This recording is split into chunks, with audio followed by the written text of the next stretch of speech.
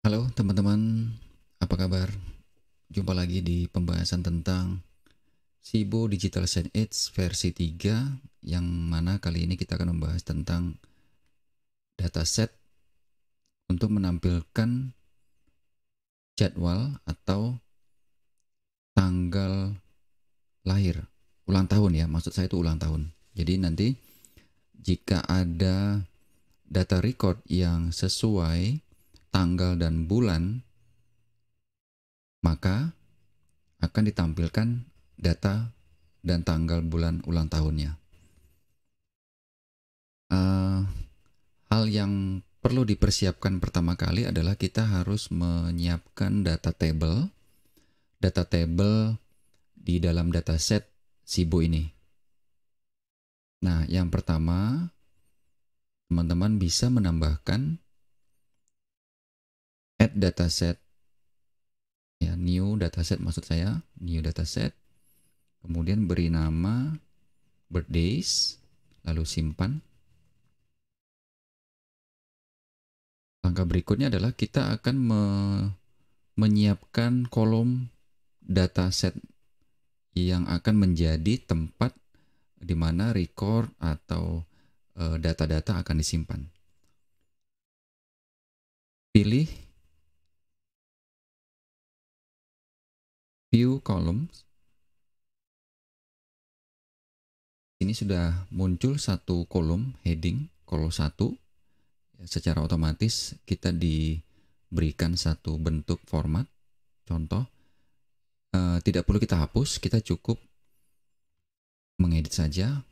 Kolom pertama yang kita butuhkan adalah nama. Ya, nama orang yang akan berulang tahun. Kemudian tipe kolomnya adalah value data tipenya adalah string, kemudian kolom order 1, aktifkan filter, dan aktifkan sort. Lalu simpan. Data kedua yaitu data record untuk tempat lahir. Untuk tempat lahir, data tipe yang kita butuhkan adalah string karena di sini adalah e, menampung data teks ya. Misalnya Jakarta, Medan, Surabaya, dan seterusnya. Sini kolom ordernya adalah dua, filter, sort, simpan. Kolom yang ketiga yaitu tanggal lahir. Sudah jelas di sini tanggal lahir adalah tipenya harus date. Nah, untuk nah untuk penyajian dataset berupa tanggal itu nanti ada format khusus ya teman-teman ya. Nanti akan saya jelaskan di uh, di penjelasan berikutnya nanti. Lalu ordernya adalah tiga kemudian filter dan sort simpan. Kolom berikutnya adalah keterangan. Keterangan ini nanti akan menempati data gabungan antara tempat lahir dan tanggal lahir. Karena nanti kalau kita menampilkan tanggal lahir langsung di dalam dataset itu uh, akan muncul waktunya. Ya, nanti akan saya tunjukkan maksud uh, maksudnya apa gitu ya. Nanti di saat kita menyisipkan dataset ticker ke dalam layout. Oke, sekarang uh, heading yang keempat ini adalah keterangan. Data tipenya adalah string karena menampung data teks ya. Urutannya keempat, filter dan sort. Kolom berikutnya adalah foto. Foto.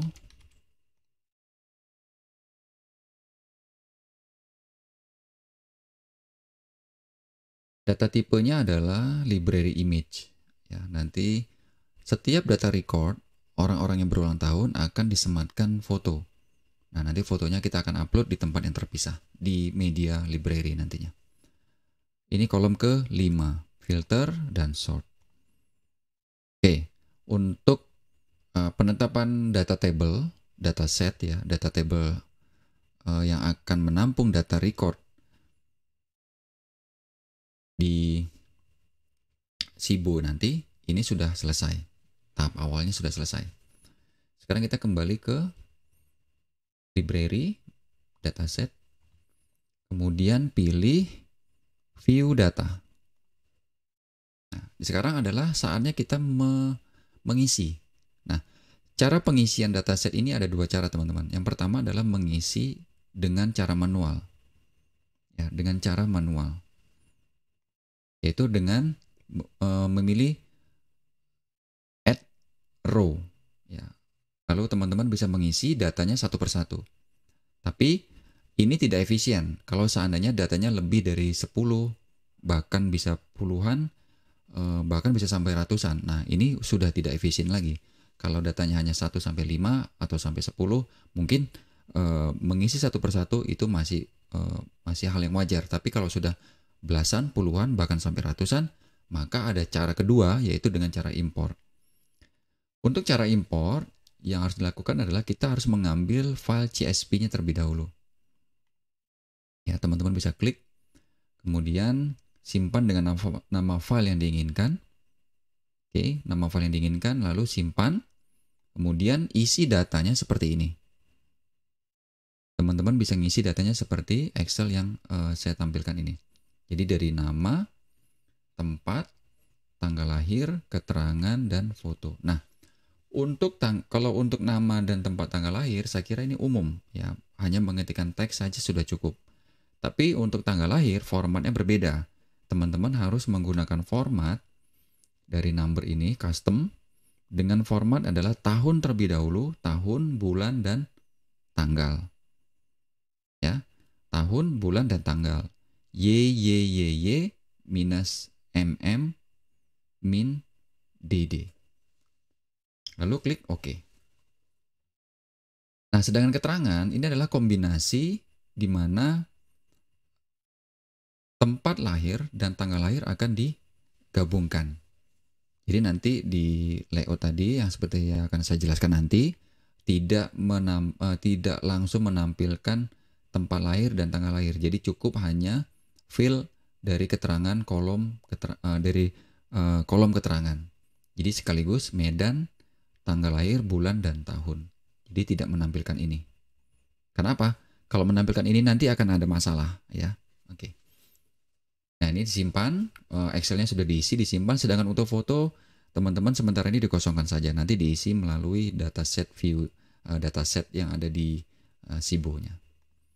Lalu kita lakukan uh, import melalui library dataset. Lalu pastikan yang dipilih adalah uh, dataset birthday. Lalu import CSV add CSV file, cari. Nah, ini dia file yang sudah saya simpan, yang sudah saya siapkan. Kemudian override existing data. Jadi aktifkan overwriting. Jadi kalau seandainya ada data-data yang lama itu akan di uh, refresh atau di override akan ditimpa dengan yang baru. Lalu ignore first row. Ya, artinya ini mengabaikan judul-judul ini. Ini akan diabaikan karena ini bukan data. Ini hanya sebuah judul, sebuah kolom. Jadi kita akan ignore yang direcord hanya dari mulai uh, baris kedua sampai baris ketujuh. Ini harus diaktifkan. Ignore first row. Jadi judul tidak perlu di uh, import ke dalam database. Lalu start upload. Dan kita lihat hasilnya. View data. Di sini sudah muncul nama, tempat lahir. Nah, sedangkan yang ID ini otomatis ya teman-teman ya. Ini urutan otomatis. Kemudian tanggal lahir ini otomatis akan disesuaikan. Tadi sebenarnya bul tahun dulu, bulan baru tanggal.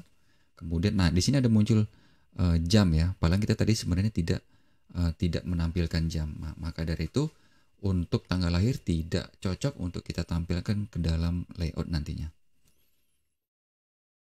Nah kemudian keterangan yang akan kita masukkan nanti ke dalam uh, layout. Nah, untuk foto, untuk foto ini belum ada ya teman-teman ya. Di sini kita belum ada foto yang uh, kita butuhkan. Maka dari itu kita harus melakukan upload terlebih dahulu melalui menu library, lalu media. Nah, usahakan di sini membuat root baru ya. Klik kanan, lalu create, teman-teman bisa menentukan nama folder apa. Di sini saya buat nama foto. tujuannya agar tidak berserakan, tidak bercampur antara uh, desain-desain yang lain dengan foto-foto uh, yang dibutuhkan untuk tanggal lahir ini, untuk menampilkan uh, ulang tahun. Nah, di sini kita upload ya, add media, kemudian add file. Nah, besaran filenya tidak lebih dari satu itemnya ya, satu item tidak lebih dari 128 megabyte. Foto, pilih beberapa foto sekaligus, kemudian open, dan start upload. Untuk upload, selesai. Ini sudah muncul semua. Mungkin di sini saya edit sedikit ya namanya ya.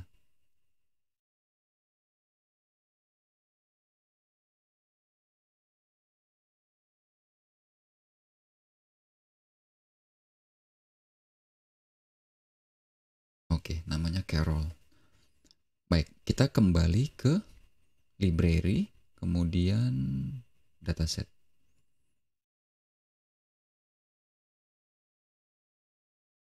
Oke. Lalu view data. Nah, di sini teman-teman bisa melakukan pengaturan foto by foto ya, berdasarkan data record yang dibutuhkan. Di sini adalah Steve. Steve di sini kita ketik saja lalu disimpan kemudian Tony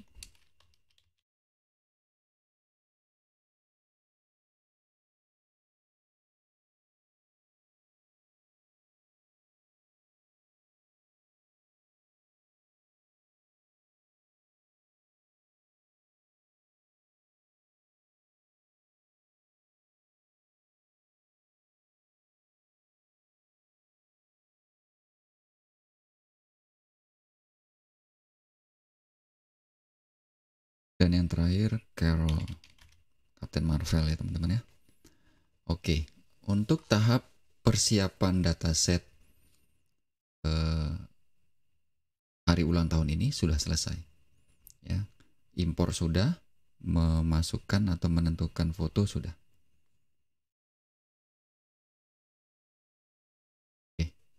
Nah sekarang saatnya kita menyisipkan atau mengaplikasikan dataset ini ke dalam layout agar layout agar bisa terlihat di halaman uh, antarmuka layar uh, digital signage. Kita menuju ke desain lalu ke layout. Teman-teman bisa menyiapkan satu layout yang memang nanti untuk disisipkan uh, dataset tadi atau teman-teman bisa menggunakan layout yang sudah ada ya jika memang diinginkan. Misalnya mau diletakkan di atas gitu ya di atas ini atau di sini ya tanggal lahirnya. Atau ya teman-teman uh, punya punya desain sendiri atau punya uh, kebutuhannya masing-masing. Kalau di sini saya sebagai contoh akan menggunakan uh, layout birthday saja ya sebagai contoh. Lalu desain. Nah, di sini saya sudah menyiapkan satu region, ya region di sini dengan ukuran lim, lebar 580, kemudian tinggi 130. Sekali lagi, ukuran ini teman-teman bisa atur sesuai dengan kebutuhan masing-masing. Ya, bisa lebih lebar atau bisa lebih tinggi. Lalu pada region ini kita akan sisipkan eh, data-data uh, tadi, data data set ya, data set tadi yang sudah kita siapkan yaitu dengan menyisipkan data set ticker. Nah, di sini ada data set ticker. Ya. Pilih tanda plus di sini, klik tanda plusnya, lalu arahkan ke region yang akan kita uh, jadikan wadah. Nanti uh, akan ditampilkan di sana ya. Lalu klik Lalu kita pilih dataset yang aktif. Nah, di sini dataset ini baru satu, karena uh, kita baru memiliki satu dataset. Pilih saja lalu simpan. Dan jangan lupa memberi nama ya teman-teman ya. Pemberian nama ini penting karena apa? Nanti suatu saat kalau seandainya dataset kita sudah mulai berkembang dan banyak, ini akan menjadi kerumitan atau menjadi kesulitan tersendiri. Karena kita akan bingung mencarinya yang mana dataset yang sebenarnya yang kita butuhkan kan gitu. Di sini kebetulan dengan nama birthday. Mungkin nanti ada uh, job uh, ya job schedule, dataset gitu ya, atau uh, manager uh, in charge dan seterusnya. Oke, okay, uh, pengaturan berikutnya adalah set duration. Set duration di sini saya tetapkan 5 saja dulu. Nanti kalau seandainya terlalu cepat teman-teman bisa ganti. Karena di sini hanya sebagai sampel agar uh, transitionnya bisa terlihat dengan cepat. Lalu duration is item ini is per item jadi setiap item itu memiliki durasi 5 detik. Ya, karena gini, uh, kemungkinannya dalam satu tanggal yang aktif itu akan ada tiga bahkan lebih ya orang yang sama tanggal lahirnya. Misalnya tanggal 22 Februari ini akan muncul empat orang yang berulang tahun. Ya, orang yang berbeda dengan tanggal yang sama. Tanggal dan bulan yang sama. Maka uh, duration is per item ini akan dimunculkan per itemnya 5 detik. Masing-masing akan dimunculkan selama 5 detik dan bergantian seterusnya.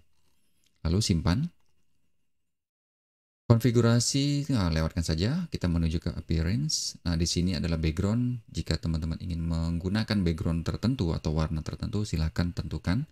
Jika tidak, uh, abaikan saja. Lalu efek, saya menggunakan efek fade.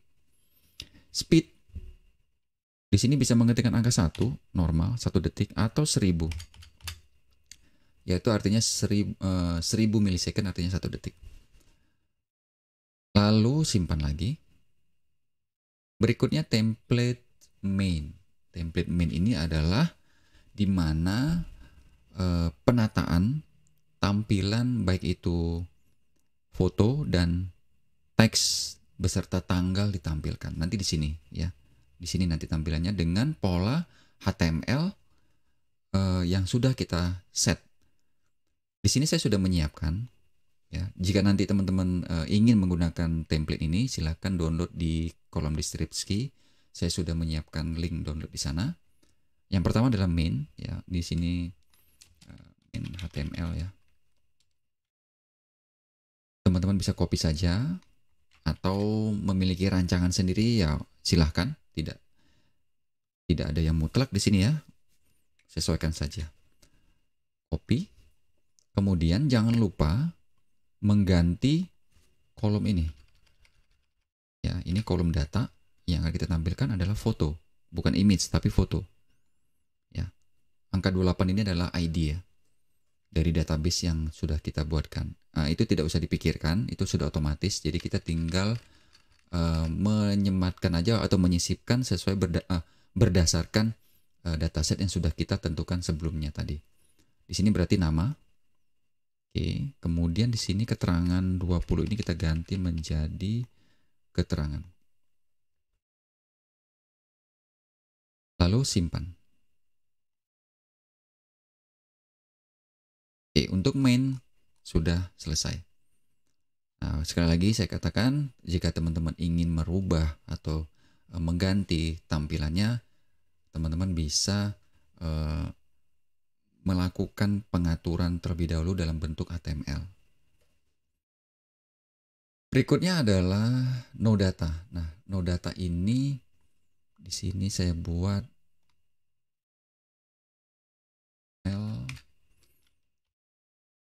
no birthday. Jika tidak ada ulang tahun yang berulang tahun, maka di sini no terangannya seperti ini aja. No birthday birthday two days ya today okay. no birthday today lalu simpan yang berikutnya adalah CSS ya style sheet CSS jadi Sekali lagi teman-teman silakan mengcopy saja dari CSS yang sudah saya siapkan ini ataupun jika teman-teman memiliki eh, CSS atau format tersendiri ya silakan diaplikasikan. Tinggal copy saja ke area uh, style sheet template karena di sini sifatnya adalah opsional. Lalu simpan. Langkah terakhir adalah filter. Filter ini uh, yang mana nanti akan digunakan untuk memfilter data, terutama tanggal dan bulan. Ya, jadi di sini saya sudah siapkan juga copy, lalu masukkan ke use advanced filter clause. Ya, klausannya di sini, lalu di paste. Jadi maksudnya day, ya itu day itu di sini maksudnya adalah tanggal. Jika tanggal pada kolom tanggal lahir yang pada Excel ini, ya tanggal lahir ini, jika tanggal pada kolom tanggal lahir ya, sama dengan tanggal hari ini, tanggal current date, ya, dan bulan pada kolom tanggal lahir sama dengan bulan current date, maka akan ditampilkan.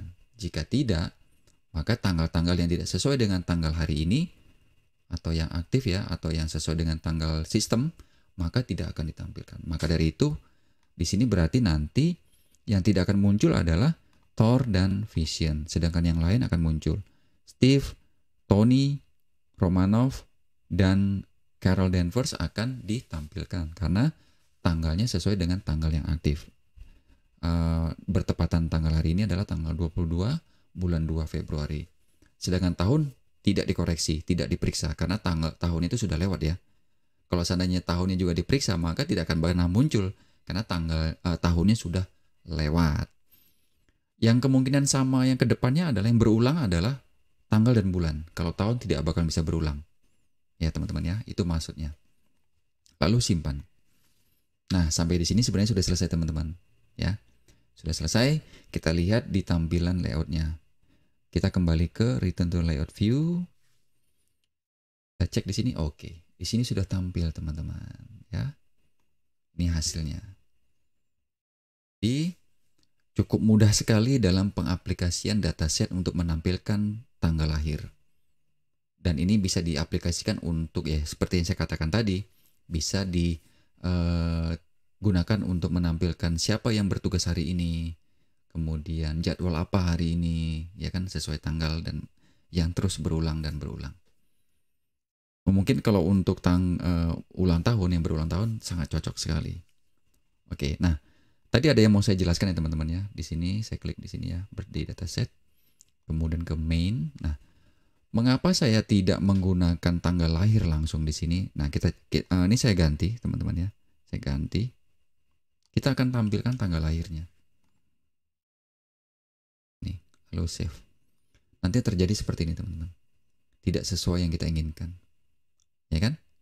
Nah, jadi di sini ada tahun, ya ada, ya ini cocok cocok sesuai dengan apa yang kita harapkan. Hanya saja di sini kok ada 00 ya. Ada 00 di sini. Maka dari itu saya memanipulasi uh, bagaimana caranya agar data tersebut tidak muncul.